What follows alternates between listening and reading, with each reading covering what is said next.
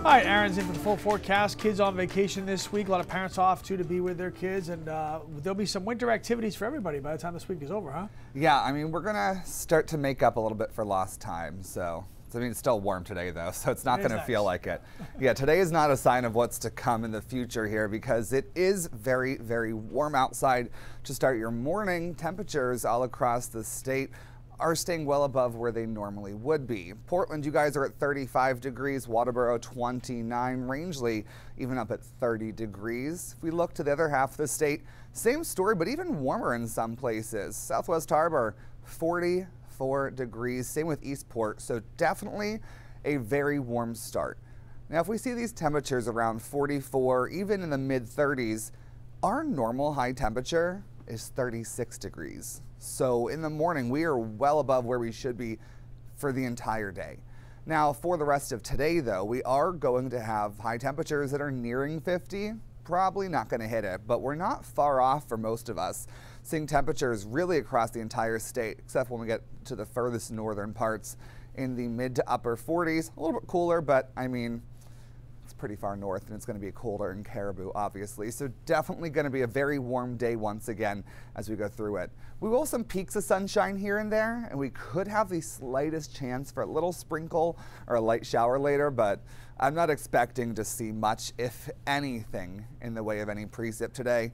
Especially higher elevations to the farther north, you might get a few little snow showers in the mountains, but not looking at much. Like I said, this shouldn't really happen, but you might just get a slight sprinkle later this afternoon and into the evening.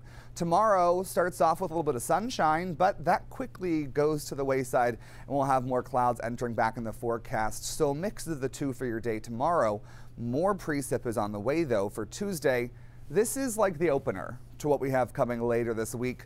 A lot of the state should all see some snow tomorrow. A little bit further south along the coastline, you'll have that mixing in with some rain. So it'll be a little combo of the two if you're along the coast. So your snow totals are still a little up in the air because it's just going to kind of hug the coastline as this moves through. But you should see some snow and some rain if you're along the coast. Then it starts to clear out as we go into Wednesday. So more sunshine. It's just kind of here and there as we go throughout the week. It's not consistent day to day as we go out there. Snow totals for your day tomorrow, though, so this is tomorrow evening. It depends where you are. Like I said, along the coastline where we start to have all this mixing in, that's where you could have none. You could get up to a couple inches, inland a little bit more, about two to three inches for a lot of people. This is not a lot for Maine in February. What we're going to have coming on Thursday is a better shot for that. The rain snow line is actually now trending to go a tiny bit further south, so we're going to have some snow entering into the forecast in the day through overnight Wednesday into Thursday. That lasts pretty much all day on Thursday, so as long as that stays off to our south, we should have some pretty good snow totals here as that moves through, and then it wraps up by the time we get to Friday afternoon. Continuing from there, another round coming Saturday night into your day on Sunday, so we really do have a couple things in the forecast. Seas are at four to five feet today. There is a small craft advisory until this evening.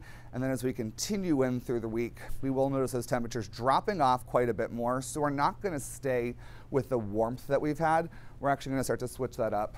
Coastline, pretty much the same thing, just add a couple degrees, which means you could have a little bit of mix trying to make its way into the forecast on Thursday as well once that moves through. But like I said, the snow line, rain snow line's moving off south a little bit more, which helps us. All right, well, we'll keep an eye on all those things and more. Yep. Thank you, sir. Appreciate it. Gonna